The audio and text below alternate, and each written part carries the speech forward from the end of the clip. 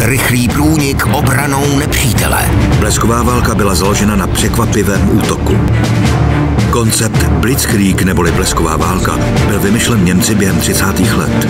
Taktika, která v začátcích druhé světové války přinášela nacistům úspěch. Vojenská odpověď se nachází v technice bleskové války. Blitzkrieg v neděli v 18.00 na CS History.